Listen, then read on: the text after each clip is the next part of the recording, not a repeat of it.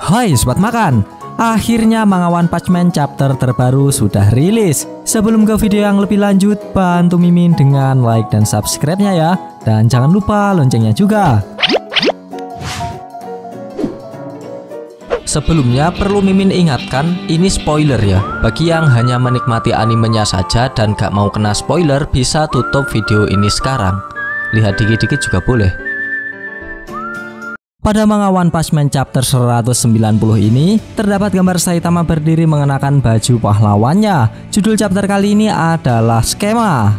Di awal scene kita diperlihatkan Child Emperor bergumang tentang situasi saat ini sambil ngelas besi di depannya. Aku tidak bisa mengandalkan Dr. Bovoy. Semakin aku menyelidiki asosiasi, semakin terasa rusak hingga ke akarnya. Pada titik ini, aku sama sekali tidak percaya pada kemampuan pembersihan dirinya. Lihat saja, aku akan melakukan yang lebih baik daripada asosiasi kelas S dan Dr. Bovoy. Aku akan melampaui mereka semua dan mengubah segalanya sendiri. Gumang Child Emperor. Tak berselang lama Zombie Man mengirim SMS kepada Child Emperor. Bisakah kau meluangkan waktu sepulang sekolah besok? Aku akan membelikanmu milkshake. Mendapat pesan itu, Child Emperor nampak tersenyum dan mengungkapkan bahwa dia melakukan semua ini demi pahlawan seperti Zombie Man yang serius mengenai situasi ini. Hari telah berlalu dan sekarang Child Emperor bertemu dengan Zombie Man. Dengan segelas milkshake dan juga kopi pahit di atas meja, sekarang mereka siap mulai perbincangannya. Dimulai dari Zombie Man. Dan begitulah keadaannya. Jika kita bisa memahaminya, itu akan meningkatkan kemampuan kita dan juga meringankan beban kerjamu. Ada apa Child Emperor? Apakah kau sakit perut? Jelas dan tanya Zombie Man yang melihat ekspresi Child Emperor yang tak biasa. Setelah itu Child Emperor menjelaskan mengapa ia demikian. Hari ini, teman sekelasku mengolok-olokku karena nama pahlawanku. Zombie Man menanggapi, jadi begitu ya, jangan khawatir tentang itu. Mendengar tanggapan Zombie Man, Child Emperor semakin menjadi-jadi. Bagaimana aku tidak khawatir tentang itu? Diberi nama pahlawan yang memalukan seperti ini. Melihat keadaannya semakin parah, Zombie Man berusaha menenangkan Child Emperor. Aku, Aku agak berpikir bahwa kamu adalah kamu. Kau tahu arti lain selama ini. Setelah itu Child Emperor terdiam saat dan menangis. Info semacam itu selalu dikunci oleh ibuku. Setelah itu ia berubah menjadi marah sambil menggeblek meja. Semua orang mencibir di dalam setiap kali mereka menyebut namaku. Bukan begitu? Anda juga Mr. Zombie Man. Aku kecewa pada kalian semua. Aku benci orang dewasa kata kesal Child Emperor sambil berlari meninggalkan Zombie Man. Melihat Child Emperor kabur, Zombie Man berusaha mencegahnya. Child, eh, Isamu. Namun itu sudah tak digubris oleh Child Emperor. Sangat disayangkan sekali ya sob, karena minumannya tak diminum sama sekali. Kembali ke topik, melihat keadaan Child Emperor, Zombie Man bergumang. Tidak bagus, stres benar-benar mempengaruhinya. Aku harus segera bertindak. Setelah itu ia mengirim SMS kepada Child Emperor. Maaf, aku akan menantang diriku sendiri untuk mendobrak batasanku juga dan bekerja untuk meringankan bebanmu, meskipun hanya sedikit. Sin pindah ke rumah takoyaki. Di sana terlihat monster nyamuk sedang melayani pembeli takoyaki. Dengan pose yang imut sekarang ia nampak ramah untuk anak-anak. Setelah menerima takoyakinya, si bocah itu berkata kepada temannya, "Lihat, aku sudah bilang kan bahwa ada seorang wanita yang berpakaian aneh menjual takoyaki." Temannya pun nampak gembira melihat penjual takoyaki itu dan bertanya-tanya mengapa dia berpakaian seperti lalat. Mendengar ejekan dari bocah itu, monster nyamuk langsung murka. Apakah kau ingin aku menghisap energi hidupmu? Melihat monster nyamuk marah, Saibo Gorilla langsung menyuntikkan darah ke monster nyamuk lewat atas bokongnya. Wah wah, kalau jadi anime pasti si monster nyamuk mendesah mesum kayak season pertama. Setelah selesai menyuntikkan darah, si gorila menghansaplas bekas suntikannya. Alhasil monster nyamuk sekarang menjadi lega. Apaan sih? Jangan tiba-tiba menusukku seperti itu, kata si nyamuk. Lalu gorila menanggapi, lebih baik daripada mendapatkan darah di tanganmu. Setelah itu gorila meminta kepada dokter Genus untuk cepat membuat kembali kantong darah untuk si nyamuk dikarenakan dia cepat lapar. Mendengar permintaan gorila dengan santai Dokter Genus menjawab, hadapilah, itu masih dalam tangki inkubasi. Sepertinya si nyamuk ini adalah kloningan ya sob. Karena di season pertama si nyamuk sudah ditampar Saitama hingga hancur lebur seperti tape. Tapi ya entahlah, mungkin saja bisa dibangkitkan kembali lewat DNA-nya. Kembali ke topik, tak berselang lama mereka bertiga berbincang, datanglah zombie man menghampiri mereka. Setelah itu zombie man duduk serta dilayani oleh si nyamuk dengan hidangan yang ada di tokonya. Pembicaraan dibuka oleh Dr. Janus. Ada masalah apa hari ini zombie man? Zombie Man membalas, ada seseorang pria yang mengalahkan monster Garut dengan satu pukulan. Namun di sisi lain si nyamuk malah meminum minuman yang telah disuguhkan ke tamunya. Dengan sikap si gorila langsung mengajak Kled si nyamuk pergi ke tempat lain. Melihat tingkah dari ciptaan Dr. Genus, Zombie Man bergumang bahwa si nyamuk lebih aneh dari dirinya. Sekarang kembali ke pembicaraan utama. Berdasarkan kesaksian iblis cyborg dan keadaannya sendiri, itu menentang semua akal sehat. Persis seperti apa yang kau katakan. Aku hanya bisa berasumsi bahwa limiternya telah dilepas. Lanjut Zombie Man. Kemudian Dr. Genus menanggapi, "Sungguh, jadi kau bertemu dengannya. Makanan sudah siap. Apa kau lapar?" Zombie Man tak menanggapi ajakan dari Genus. Ia langsung mengatakan ke intinya, Genus, aku ingin kau mencoba dan menghapus limiterku. Mendengar permintaan hasil eksperimennya itu dengan tatapan serius, ia berkata, Nomor 66, toko ini sebenarnya memiliki ruang bawah tanah. Aku punya sesuatu yang menarik di sana untuk ditunjukkan padamu. Hmm, semakin menarik. Sin pindah ke gedung asosiasi pahlawan. Di suatu ruangan, Snake sedang membicarakan sesuatu dengan salah satu staf asosiasi pahlawan. Sepertinya ini misi baru untuk Snake. Korbannya adalah eksekutif tertentu dari salah satu perusahaan sponsor asosiasi. Dia telah hilang sejak akhir tahun lalu, tapi beberapa hari yang lalu, sisa-sisa kerangka ditemukan di sebuah ruangan tersembunyi di bawah kediamannya. Jelas staf kepada Snake. Melihat kerangka di ponselnya, Snake menanggapi, tercapik-capik ya. Lalu staf melanjutkan, berdasarkan barang bukti yang ditemukan di TKP, polisi menyimpulkan bahwa pelakunya adalah monster. Jadi karena ini bukan kasus kriminal, tapi bencana monster, investigasi diserahkan ke Asosiasi Pahlawan. Snake, aku ingin kau memimpin penyelidikan dan memusnahkan monster ini. Aku akan melanjutkan dan menyerahkan semua data yang kami miliki. Sejak kejadian itu terjadi dua tahun lalu, mungkin tidak akan bisa diselesaikan dengan cepat. Untuk saat ini, kami hanya perlu menunjukkan kepada polisi dan keluarga korban bahwa kami setidaknya siap untuk memulai penyelidikan. Cukup tanda tangan di sini, dan kontrak transisi akan selesai. Kami akan mentransfer biaya kontrak padamu dalam waktu seminggu. Kau benar-benar membantu kami. Kami akan menyerahkan kepadamu untuk memutuskan bagaimana melanjutkan dari sini, Snake. Pinta lanjut salah satu staff. Setelah selesai berbincang, Snake keluar sambil melihat data yang telah diberikan oleh staff.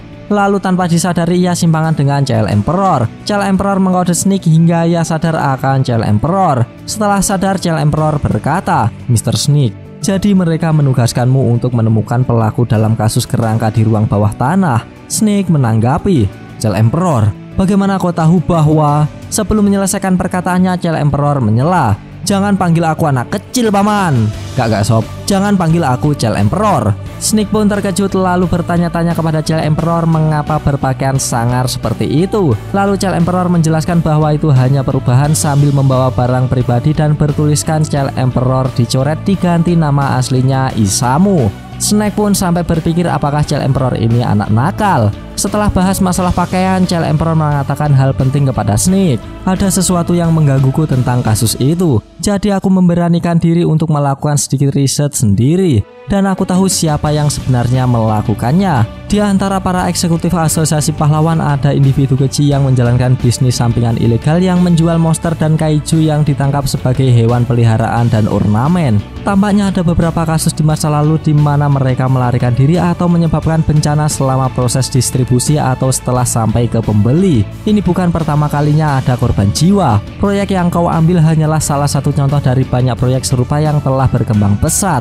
Monster yang dimaksud telah dimusnahkan enam bulan lalu. Aku sudah konfirmasi dari masing-masing ID chip yang ditanamkan di tubuhnya. Mereka menanganinya secara rahasia untuk mencegah rumor buruk tentang asosiasi pahlawan menyebar. Mendengar penjelasan Child Emperor membuat Snake tercengang. Setelah itu ia menanggapi, Aku, aku merasa aku seperti baru saja terlibat skandal. Kenapa kau mengatakan ini padaku? Tanya Snake. Lalu Child Emperor menjawab, karena aku merasa tidak enak kalau kau akan mengakhiri pengejaran monster yang sudah dilenyapkan. Itu saja, jawab Child Emperor sambil pergi meninggalkan Snake. Mendengar fakta secara langsung, Snake sangat marah dan meremas data dari asosiasi pahlawan. Brengsek, sulit dipercaya bahwa para eksekutif itu menjebakku.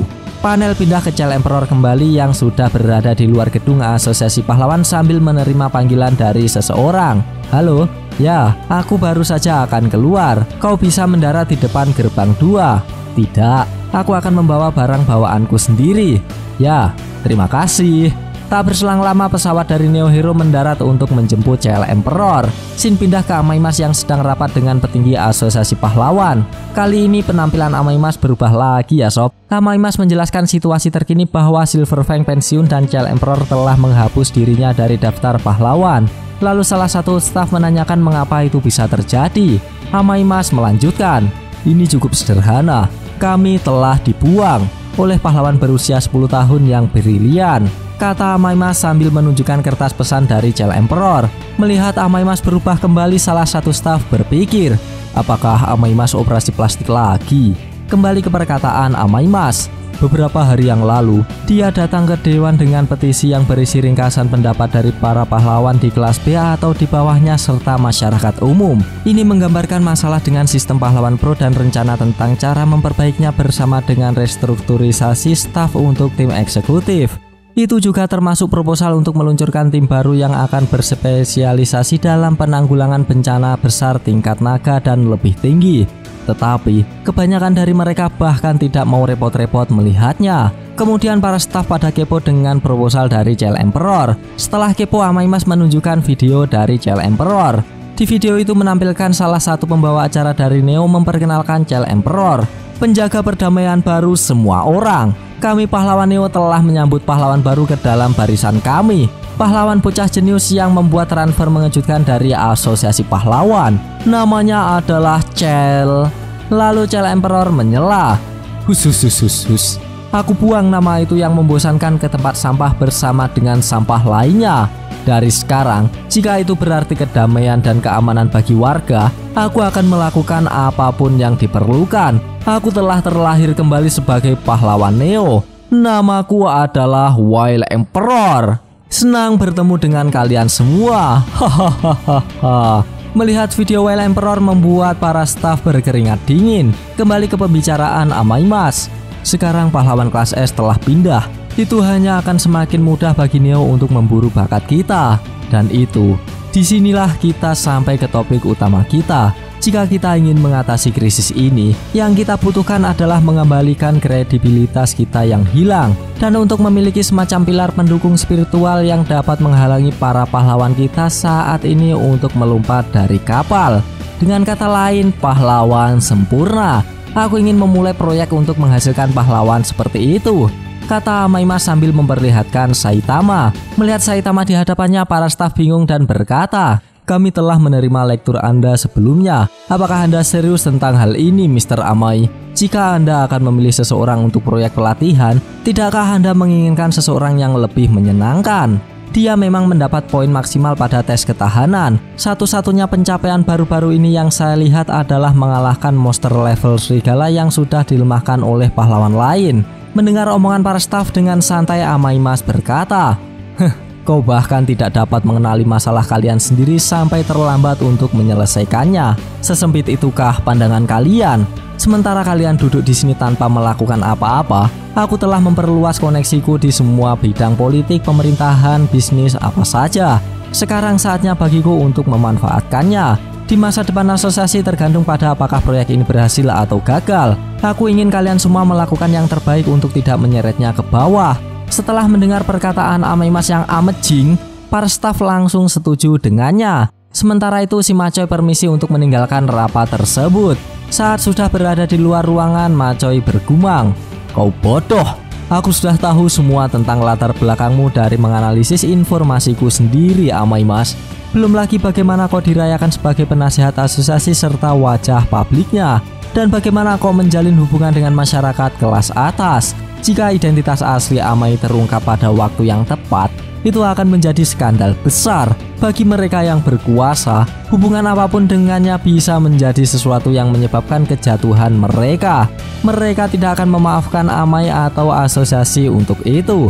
Setelah itu terjadi, itu semua milik kita. Amaya akan diburu oleh pahlawan Neo, dan Neo akan mendapatkan apresiasi dari para petinggi maupun publik. Sebaliknya, asosiasi pahlawan akan mendapatkan tatapan mematikan dari para petinggi dan mudah-mudahan malah kabur sepenuhnya. Kemudian, aku akan membawakan mereka semua data yang dikumpulkan oleh asosiasi sebagai hadiah dan para pahlawan Neo akan menyambutku dengan perlakuan eksekutif. Emang busuk sekali si Maco ini sob. Yang menghancurkan asosiasi pahlawan sebenarnya ya orang ini. Dan sekarang ia berencana mengungkap jadi diri Amaimas yang merupakan monster Dan juga menyerahkan semua data tentang asosiasi pahlawan ke Neo. Kampret emang Udah buat bobrok malah pindah ke Neo yang juga bobrok. Kembali ke topik. Tak berselang lama Macoy mendapat telepon dari seseorang. Yo Macoy. Sepertinya urusan judi pahlawanmu berjalan cukup manis ya Macoy menjawab, Halo Mr. Yumon, ini semua berkat pelajaran baik Anda. Semua berjalan sesuai rencana. Lalu Ryumon menanggapi, Haha, senang mendengarnya. Aku menantikan pelanggan judimu menuju ke sini. Kebersamaan kita jadi lebih liar loh, karena kita bisa bertaruh pada monster, bukan hanya pahlawan. Maksudku, monster terus berlipat ganda dan semakin kuat dan kuat. Ini akan menjadi kompetisi panas. Yehahaha. Kata Ryumon sambil dibarengi gambar 5 siluet manusia di belakangnya. Namun dengan kemunculan si anjing ini tiba-tiba scene pun berakhir. Kampret. Padahal udah seru loh. Gak apa-apa, kita lanjutkan ketika manga chapter terbarunya sudah rilis. Bagi sobat yang suka pembahasan ini bisa tekan like-nya dan jika tidak bisa tekan dislike-nya dua kali biar aneh gak rugi. Jangan lupa komennya agar Mimin bersemangat dalam membuat konten. Dan yang paling penting, jangan lupa tekan tombol subscribe supaya sobat-sobat tahu updatean-updatean terbaru dari channel ini. Terima kasih telah menonton, sampai jumpa di video-video selanjutnya.